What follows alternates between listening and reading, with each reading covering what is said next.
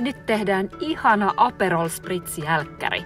Se on mummin tuttu appelsiinikiisseliohje päivitettynä aikuiseen makuun. Tämä on tosi helppo valmistaa ja teet sillä vaikutuksen vieraisiin. Kaada kattilaan pikkupullo Prosekkoa, kaksi desiä Aperolia, sokeria ja sekoita joukkoon vielä vaniljatahnaa. Mittaa kattilaan tuorepuristettua appelsiinimehua ja kuumenna melkein kiehuvaksi ja sekoita erillisessä lasissa perunajauhoja ja pikkusen appelsiinimehua.